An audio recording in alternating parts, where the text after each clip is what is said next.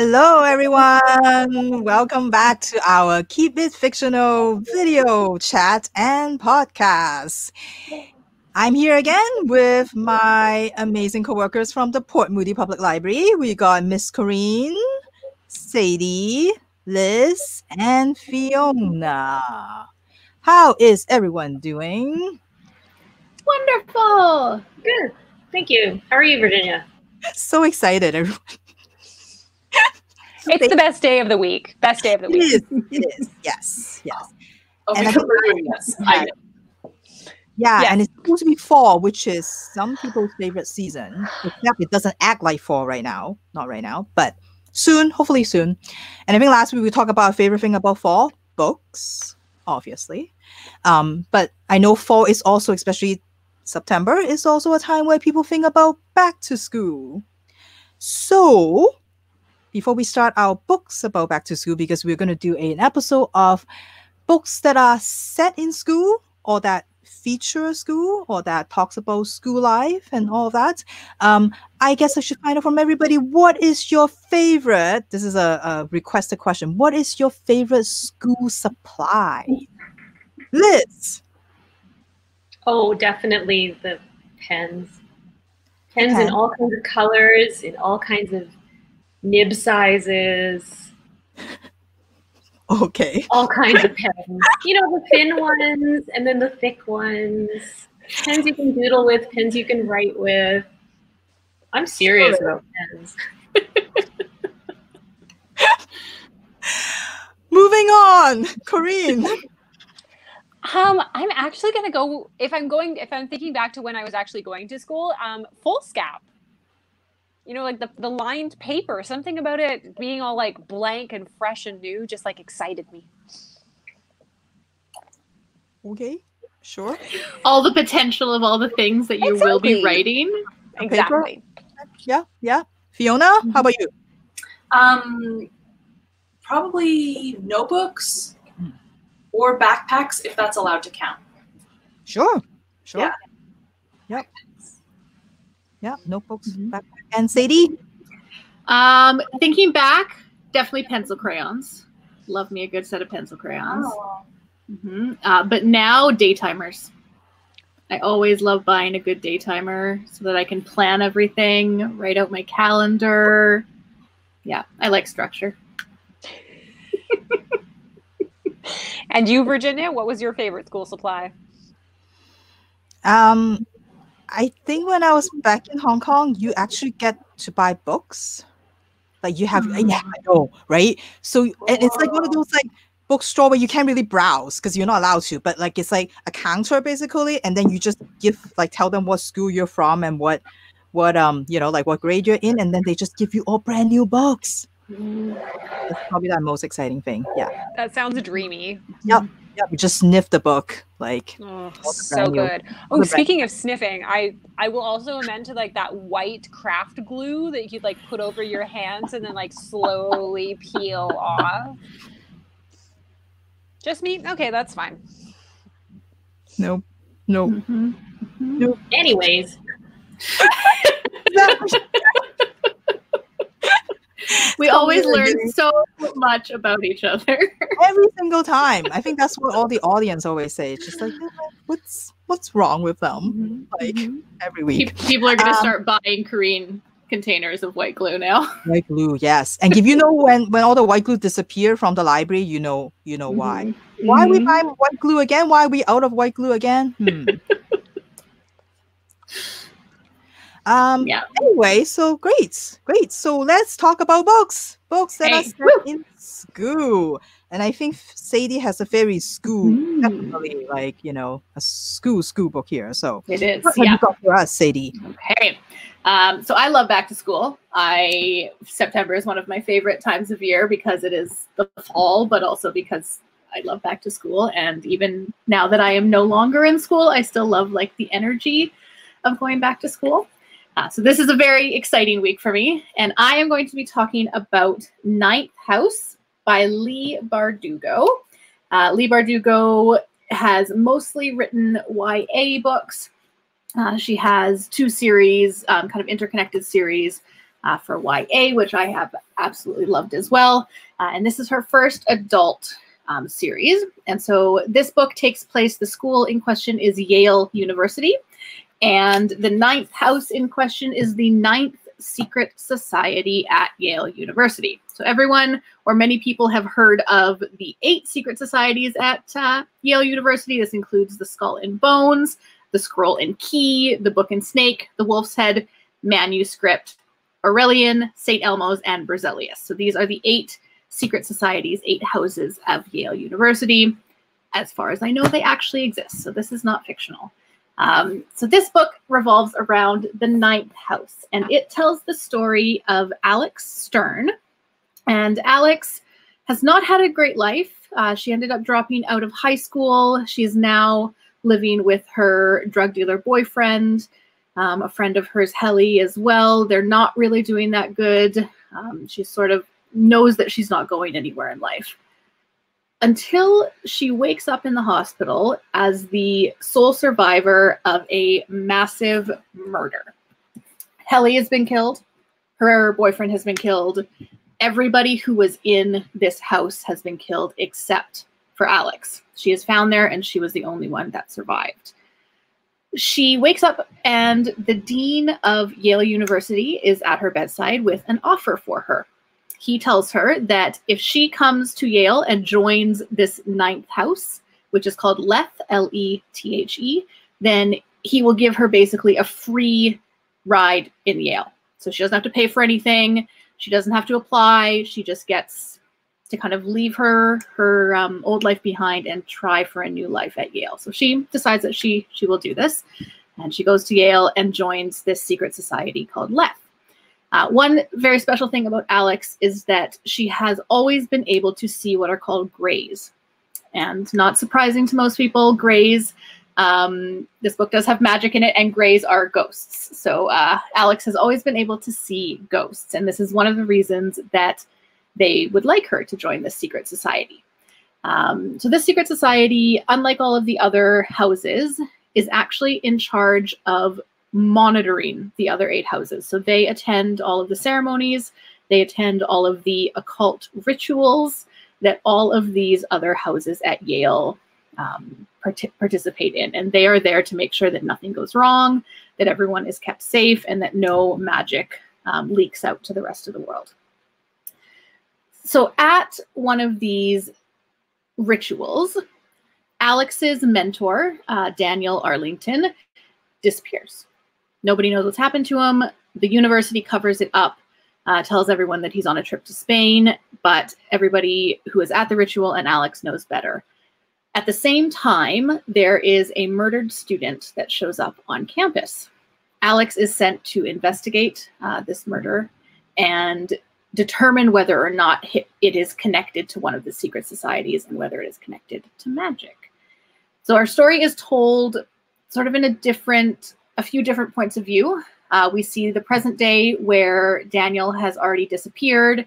Alex is now holding up in a apartment, injured. We have no idea what's happened to her. She's trying to figure out what has happened to to Al, um, to Daniel, and that's kind of all that we know when we start the book. And then as it goes on, we start to see flashbacks and we start to see what actually happened in the months leading up to to this attack, leading up to Daniel's disappearance. Um, and we kind of learn more about Alex. We learn more about the murder that she survived and learn more about her potential involvement in that and why she was the only one to survive um, that murder, as well as all of the occult connections to all of the houses in Yale University, as well as the teachers, the students, and everyone who goes to Yale University. Uh, so lots of magic, lots of occult demons, ghosts, uh, that kind of stuff, but all on the lovely fall campus of Yale University in the Ivy Leagues. Um, a lovely setting for all of this magical um, occult mystery to, to go down. So I would highly recommend Ninth House by Leigh Bardugo.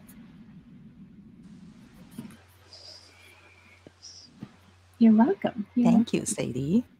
I wish my right? was that exciting. no, yeah. no, no one else wanted to. Uh... Yes. Yes. Find some sort of occult book. I prefer and... my campus is demon free. No. I'm good. I'm good. Well, what kind of school do you have for us, Miss Corrine? Well, this is a book actually set in kind of my dream school. So it is 1930s, and we are in a girls' boarding school in England, which, of course, as a young kid, I was dying to go to boarding school. The skirts, the blazers, oh, the learning Latin. Yeah, it was everything I wanted. But um, I ended up going to public school. So it's the 1930s, and newly arrived to the boarding school of Deep Dean is Hazel Wong, and she is newly arrived from Hong Kong. Her father is an incurable Anglophile. Um, and he just loves the idea of his daughter going to a boarding school like they do in the books that he reads. And so she kind of puts up a brave face and goes to this new school in this new country. Um, but inside, she despairs. The food is terrible. Uh, the weather is terrible. The people are pretty full time terrible the only kind of interesting thing at the school so far as she can see is that there is one other person at that school who is kind of hiding what they are inside. And that person is Daisy Wells. Now, Daisy Wells is blonde and outgoing and seemingly a bit simple, but in every way is the flower of British maidenhood. Gentle, simpering, and just so excited to be here. But Hazel is observant, Hazel is sharp, and she knows that Daisy is not who she pretends to be at school. Daisy is instead a bit of a bossy boss um, with a very, very sharp mind. She's incredibly intelligent, um, as is Hazel, and they kind of bond over their mutual love of solving mysteries and observing people and trying to discover all of their secrets. And so to this end, they found the Wells and Wong Detective Agency. It's been a while since they founded their detective agency and they have yet to get like a real case because there is not a lot of crime that happens in a girls boarding school in the 1930s in the middle of nowhere thankfully or unthankfully, depending on where you are in the situation, one day when Hazel forgets her sweater in the gymnasium and has to run back after the rest of the class is empty, she stumbles upon the bloodied body of her science teacher, Miss Bell, lying in a pool of blood all alone shocked, aghast, um, Hazel runs out of the room to find Daisy, her best friend, and to find the headmistress of the school. But when she brings them back to the gymnasium to show and help, the body is gone. And the gym is sparkling clean. So both Hazel and Daisy are going to first have to solve the mystery of what happened and who happened to their science teacher. And secondly, convince everyone that this crime actually happened in the first place. So I love this is a series. It is published in um, Canada and US. The first book is called Murder is Bad Manners. In the UK, it was published as Murder Most Unladylike. And it is uh, nine book series. It lately just ended. The last book has been published in England. Um, they are still kind of catching up here in North America, but I maybe went and ordered all of these as my quarantine present to myself to read later. Um, I love this series because it it really grows. Um, Hazel and Daisy, Daisy kind of starts as as not really respecting Hazel and Hazel starts as a little bit shyer and you see her kind of develop her her muscles and her assertiveness and kind of like find herself and her way. She's a really fascinating narrator and you're just like cheering for her at the end. And what I really like is that at its core this is very much like Agatha Christie meets Enid Blyton and those are just like they're my jam, all put together under a fantastic package. Um, so this is primarily meant for middle grades. However, as an adult who has watched all of the Poirots, um, I loved it. I loved it, loved it, loved it, and would heartily, heartily recommend it to anyone who w- loves that kind of like golden age of detection.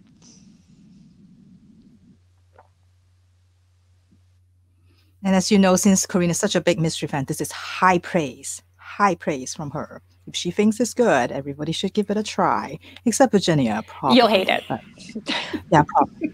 yeah, because we like completely different kind of mystery. So, all right, Fiona, what kind of school do you have? I unmuted myself. Okay. so, um, the book I chose is actually a graphic novel, um, and it takes place in a high school called Super Mutant Magic Academy. Um, now, this is actually a, a day school, so it's not a boarding school, um, and the students all have not necessarily superpowers. Um, some do, but sort of just anomalies. Some of them have lizard heads. Uh, some of them can never die. It's a real mix. Um, and uh, they go to this school um, for such children. Um, but in reality, the school is uh, really a lot like a regular high school. They are really more like teenagers with regular problems. Um, they just happen to be a little bit more freakish uh, than the freaks of high school. Um, so this is by Jillian Tamaki um, of the Tamaki cousins. Um, so with her cousin, she wrote Skim and This One Summer, uh, both excellent, excellent books. Um, but I really like to read her stuff uh, that she's done on her, own. It tends to get a little bit weirder, a lot less structured. Um, and this did originally come out as a web comic. Well, I don't like to read comics on the web. I love when they publish them as books for me. Um, so if you did enjoy my pick of um, Women World, uh, this is has a real similar vibe. It's super understated. Um, it is not at all a superhero comic, if that's what you're thinking. Um, it's more of like a slice of life for teenagers with this weird backdrop, um, which I really, really love. It doesn't do a lot of world building. It just drops you in the world and says, okay, this student has a dinosaur head.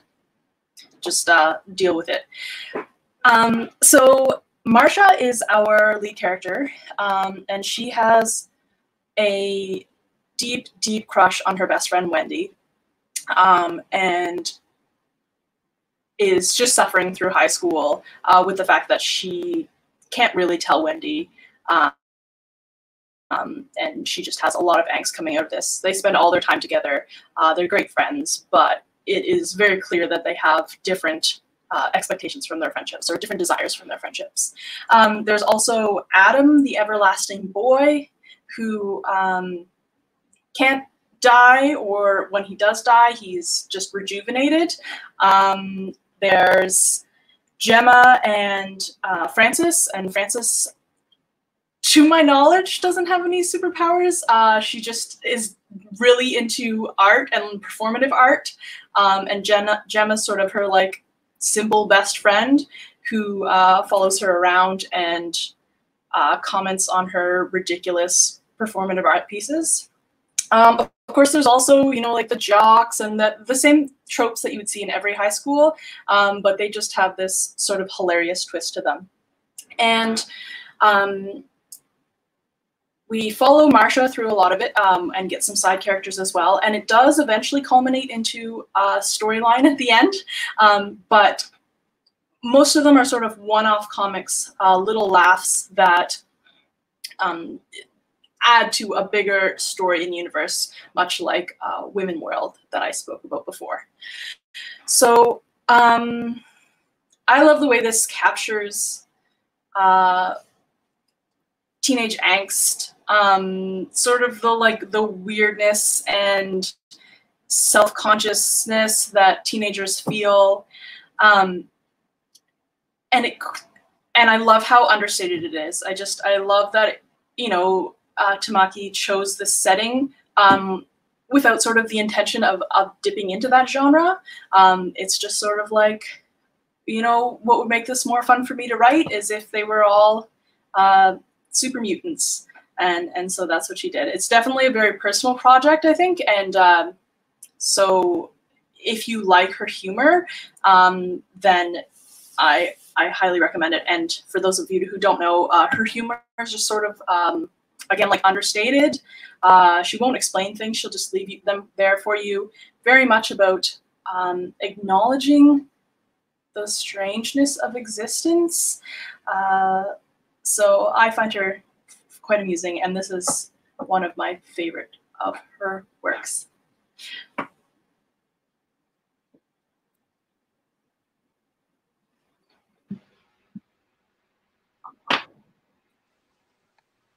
You're muted, Virginia.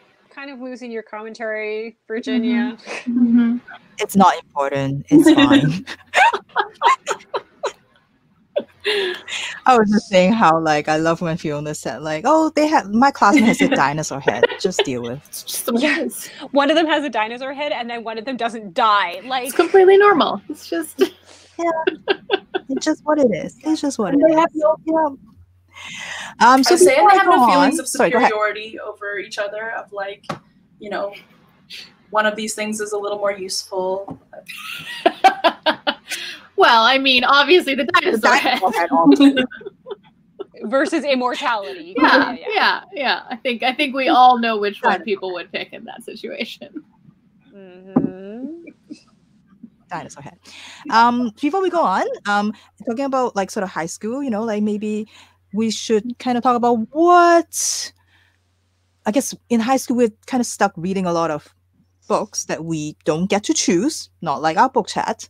Um, so what are some of the books or give you give you have a favorite book that you read during high school that you're like it's not of your choice, but you were forced to read it for school, but it still turns out to be okay. So Fiona, do you book like? I don't know if this counts because I did. I, I, can't, I feel like maybe our teacher gave us a list and let us choose from that um, in grade 10. And I chose Watership Down off, off of that list. Um, and until like, I don't know, maybe five years ago, I would have said that was my favorite book. I loved it. Nice. I never nice. read the book, but the movie the movie terrified me. So creepy. Yeah. I think that's why I just didn't want to engage with that at all anymore because the movie was so terrifying. but maybe I should try it now if you if you recommend it. insane. If if that freaked you out um, and you didn't enjoy that experience, then uh, I would say don't. no, I was also very young though. I feel like I may have seen it younger than I should have. yeah. The book is beautiful, really beautiful. What about you, Sadie? What have you read in high school that you actually hmm. enjoyed? So again, I feel like there was a list, and I really didn't want to read the other books on the list, is what I remember. And so I read the Chrysalids, and I actually really, really enjoyed it. And, and if you ask me to describe what it's about now, I have I cannot remember at all. But I just remember actually wanting to read it when I was reading it, not having to force myself to sit down and just get through it. Um, so yeah, Chrysalids. I think John Wyndham is the author of that one and uh, then I also I'm a huge Shakespeare fan, so I loved. We read Macbeth, we read Hamlet, and I think Macbeth is my all-time favorite Shakespeare play ever. So I really enjoyed reading that um, in grade eleven as well. Well, it's nice to hear that the school system has changed because there was definitely no choice when I was. choice. What is this? You know, everybody reads the same book. What are you talking about? Um, Corinne. Um, we did a lot of Canlit, which I feel um, has made some of the issues that I might have with Canlit. But the one that I really remember having like a powerful impact was uh, Joy Kogawa's Obasan. Um, I remember reading that in class and just like openly weeping, which is of course what you want to do in high school in the middle of English class is just start crying. Um, but I remember kind of getting to the end and you realize what has happened. And the writing is so sparse and so beautiful and so poetic that it just kind of moved me so much that that I was weeping openly in a high school full of other high school students. Who I'm sure responded really well to that, And as, as yeah, as high school students do. Liz? I I feel like my high school literature experience has been very different from all of yours so far. Um, first off, no choice whatsoever, um, and didn't get to read great books like Watership Down or The Chrysalids or um, yeah, like none of that, like um, or Obasan. Like um, I, I I was aware of these books. I heard that other um, people that I knew in the school had read these in their classes, but for whatever reason, I was not granted the privilege or the joy. Um, so only in university did I realize that I really dislike prescribed reading because I've had such bad luck with it. Um, that being said, uh, not necessarily favorite books, but I'd say um, ones I actually may have enjoyed in high school are uh, Ray Bradbury's uh, Fahrenheit 451. Uh, and then also kind of got on the Shakespeare kick with um, works like Hamlet. You got to read Fahrenheit 400. We had to read Something Wicked This Way Comes, which is a lesser work. I'm so jealous, Liz. I am so. So I guess I left it out somewhere along the line. You really did. We had to read Touché. Stone Angel and like, oh. Camlet. Again, not big on the Yeah. What about you? No. No. What about you, Virginia? Um, I think when I came here, like none of the books make any sense to me, obviously. and I think the first book I was forced to read was The Pearl. Steinbeck, yeah, uh-huh. Like, and it was a ESL class, right? So it's like they just figure, well, it's a book that is short, so let's just give it to them when there is no way, just because the book is short doesn't mean it's in any way that we could relate to or understand. So that was, I think that was my, that was probably my, like, yeah. I know, yeah. I was just like, why, That's why? Um, I did, I did end up enjoying, like, at some point, Steinbeck's books, but not, not at that point. Not in when a first year when trying to learn English. That doesn't work. Um, but I think like Sadie, um, was good. Um, Flowers for Algernon, I think is another book that I remember reading. That was that was good. Um, but other than that, it was all a lot of like like all quiet on Western Front and farewell to arms and all of that, and it was like blah. So yeah, nope. So yeah.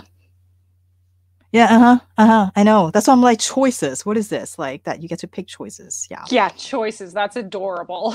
Right? So cute, adorable. Like, um, but I guess one other question would be like, do you think prescribed reading is does that does that I mean, Liz clearly thinks that that's not helpful. But would you have picked up any of those books if it weren't prescribed? I guess that would be what I. Wouldn't have picked up the Stone Angel. I actually enjoyed the Stone Angel. I didn't mind it that much. Yeah, I don't know. At Alright. one point, you were told basically like that classics is what you should read. So the Mhm. Stone Angel and all that fits into that. You, I, I do just- like Wuthering Heights. I feel like you can get the same. I feel like you can get the same thing out of reading a book that you pick yourself, and maybe like if you're not being forced to read the book, wouldn't you enjoy it more? Wouldn't you? I don't know. That's my that's my thoughts, but I guess it's also like that you're forced to do homework on it. You're forced to like, mm-hmm. write an essay about it. You're forced to and and like analyze it. I guess that's what makes it not enjoyable in some Yeah. ways. Mm-hmm. I guess maybe. I did a lot of not reading books and just like looking up Cole's notes because I was being forced to read it, and it was like, you can't make me read this. Um, yeah, so I think like they'd have a like, and then you go, but like I know some people in university read Dracula, and I was like, oh whatever. And then when you go and read classic literature for the first time after being out of school, and you don't have to think about it critically or like write about it, and it's such an enjoyable experience. Mm-hmm. Yeah. Sometimes. Yes, or you can just put it down because you're like, I don't want to read this. Yeah. True. True. Yeah. All right. Anything else about high school books? Fond memories. The only memory that I strongly have is that we had to do a group project about something Wicked This Way Comes, and ours was about the main character's development over the course of the book. And I was paired with someone who had the idea that at the beginning the character was like dough, and then by the end he was bread because he had been baked and developed by the end and then distributed fresh baking to everyone in our class. I was going to say, did you bake bread for your presentation? I didn't because I thought it was a cheap gimmick, but we got an A, so That's, That's kind of amazing. morbid. I learned Yeah, how this. I learned how the system worked.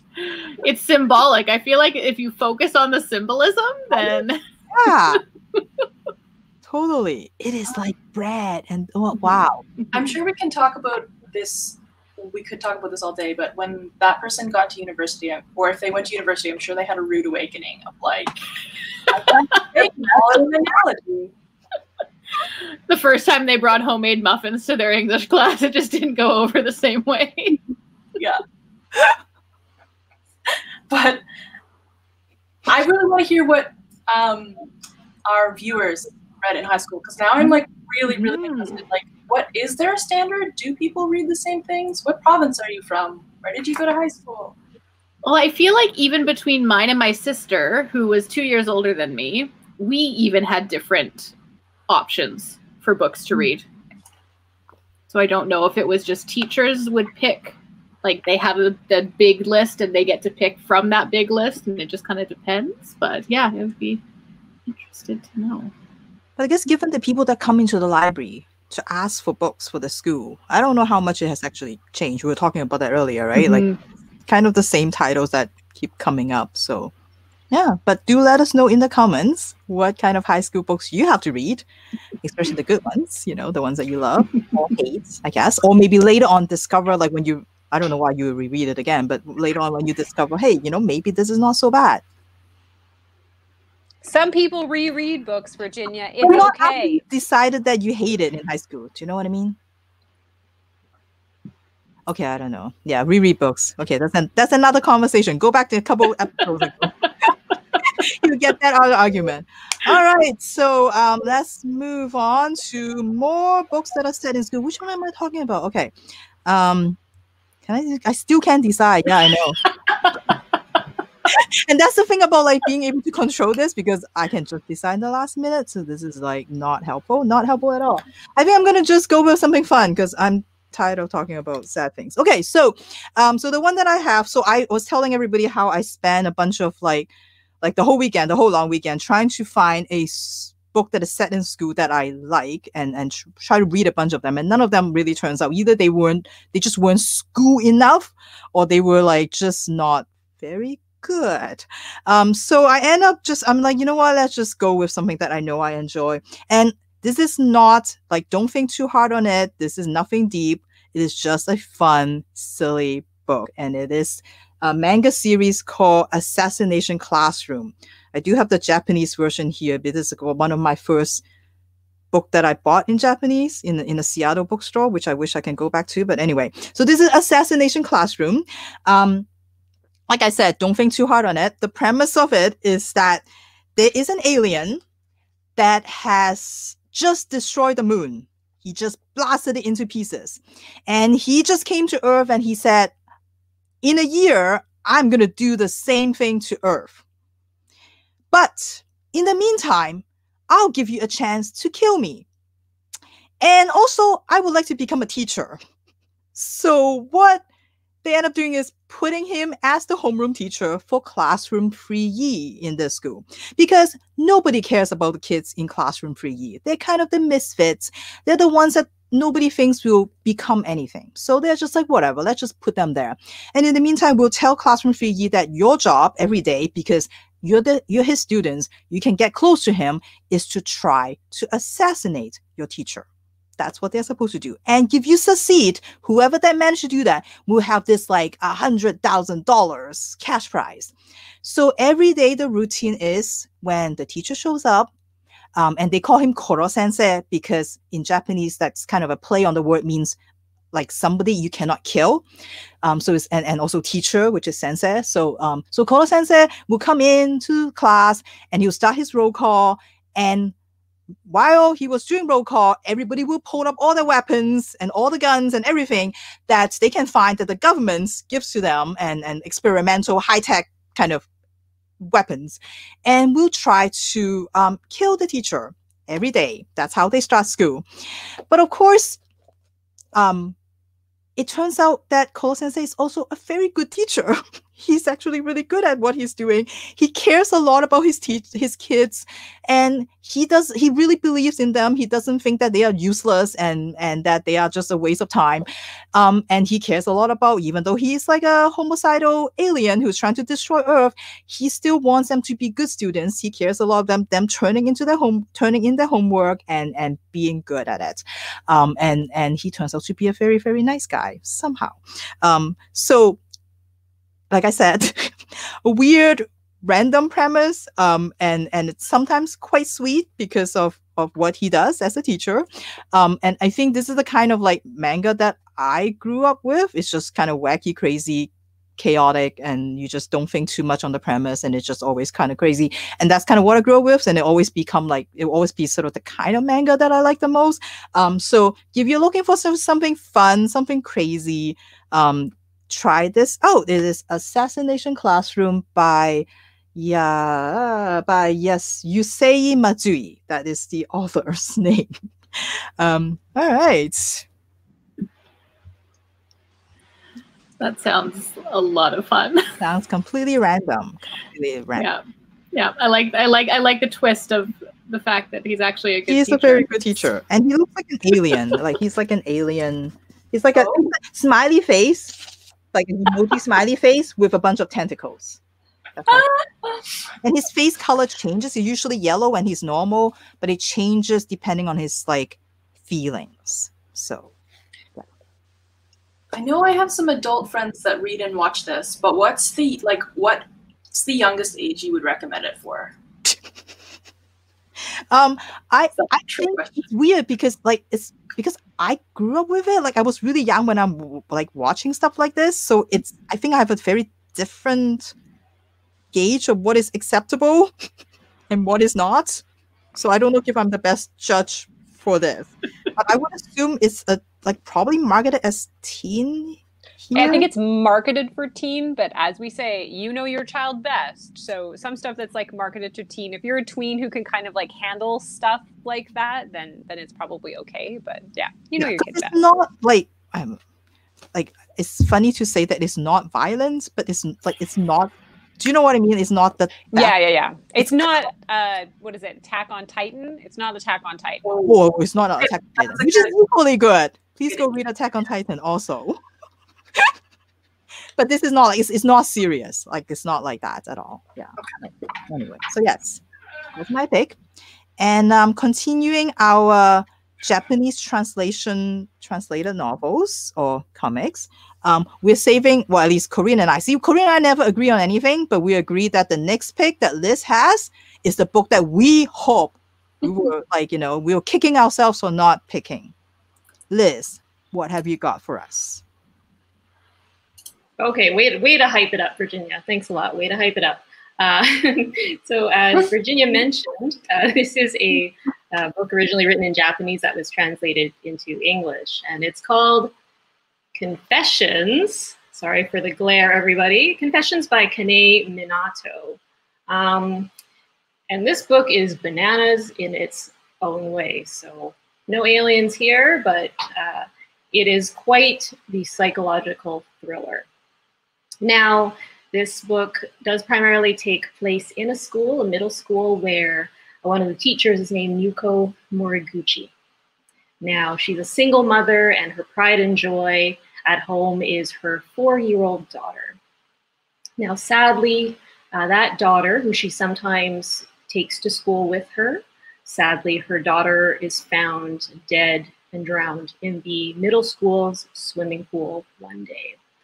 Um, it looks like an accident. Uh, looks like she just happened to wander into the pool area and fall in and wasn't able to get out of the pool. However, Moriguchi knows better. She's absolutely certain that two of her middle school students had killed her young daughter. Now, because the two students are minors, she feels that it's useless to go to the police. They're minors, they'll get juvenile detention, they'll get rehabilitation, they won't truly be punished for their heinous crime. So she decides not to go to the authorities and take matters into her own hands, and that is the catalyst for this book. Now, after this tragedy, she has told the school that she will resign. But before she does, she gathers her class together for one last class, one last lecture. And in this lecture, she turns the entire class upside down by what she has to say. Now, this story is told from multiple points of view. Sometimes you're not sure if the narrator is being reliable or not. It's it's definitely a psychological thriller. Uh, it really um, gets into the heads of the characters and and what motivates them to do what they're doing, whether it be exacting revenge or to commit a crime uh, against another person. It's definitely a revenge story. It's very calculated um, in the way that the teacher Moriguchi um, exacts her revenge and starts to put her plan into action. Um, and it's also an interesting look at mothers and children. How do how does the behavior of mothers uh, in child rearing how does that influence what their children do? Well, you definitely see uh, what happens in this story. Um, lots of twists, lots of shocking moments. Um, so I can't really tell you too much about what exactly those things are, what exactly uh, she does to get the ball rolling in terms of exacting her revenge and how that all plays out. But this was definitely one of those books where I felt I had to devour this in one sitting, and I don't I don't say that very often. Um, despite all the books that we do see at the library, uh, this was one of those unput downable books, so to speak, um, that I feel has really, I mean, everybody has, has seen or heard on our on our book chats and our, our podcasts, um, you know, what diverse reading tastes we all have. And yet, um, for those of us in the group who have actually read the book, we've we've all agreed hands down that this is um, this is one of those books that stands the test of time in terms of um, a must read. So I do highly recommend Confessions by Kanae Minato.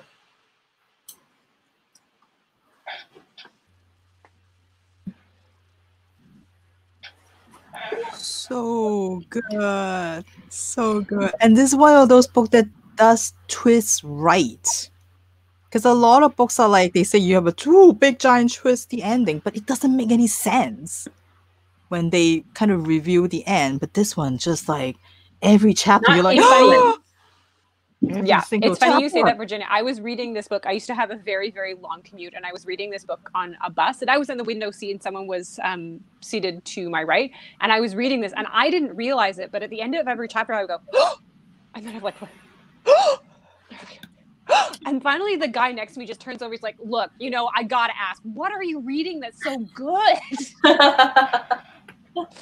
I was like, "It's the Confessions. You got to read." It's like, "Fine," because clearly you're enjoying it. So it's it's yeah, love it. It as you say, Virginia, it does it right because you don't see it coming, and it just kind of, but it fits so well with everything. I'm intrigued. Have we sold you on it, Fiona and Sadie?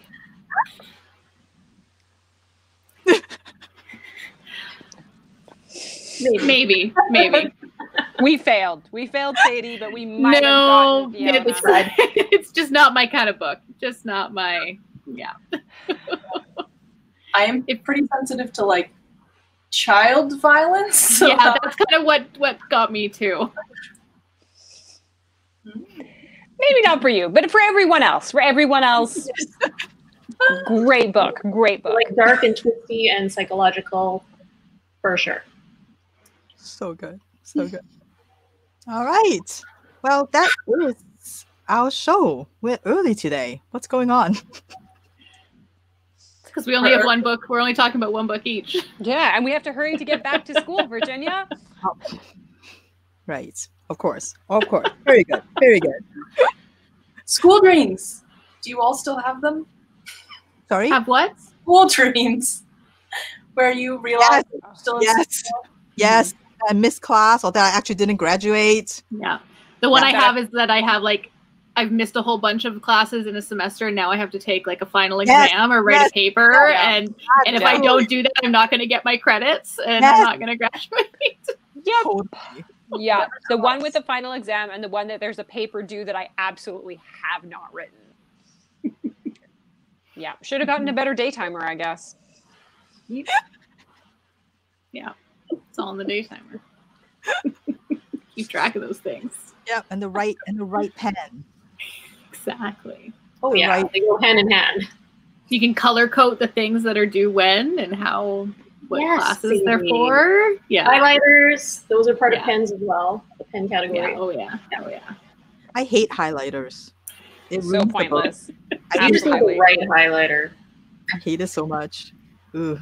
I always No. have highlighter ambitions, but then never actually use them. Or like, I'm gonna color code, and then it's like you realize you read like three chapters and you haven't been thinking about. Or you spend more time trying to remember what your color coding scheme was. I, d- I used to do that with highlighters. I would make it too complicated.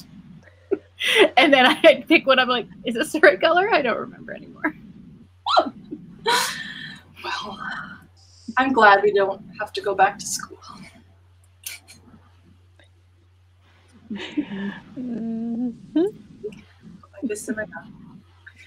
Yeah, but to all those who are going back into school in any capacity, Woo! we hope that you have an absolutely fantastic school year. Yes. Um, so many things to look forward to, so much learning to do, so much reading, so much highlighting, so much writing. Um, so, for all of our students, for all of our teachers, our professors, all of the support staff at the schools, uh, we hope that you have an absolutely fantastic school year from all of us at the Port Moody Public Library. Great. All right. Great. Well, and thank you. Thank you. I have nothing else to say, nothing else to add to that. Yeah. That was Yeah. perfect. Perfect. All right.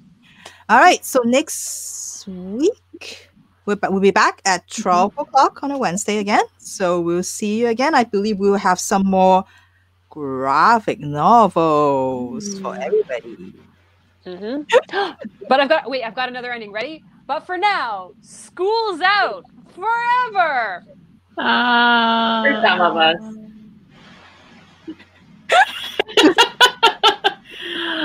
Just rub it in that we don't have school and you do all right. Well, we'll see you all next week. Bye. Bye.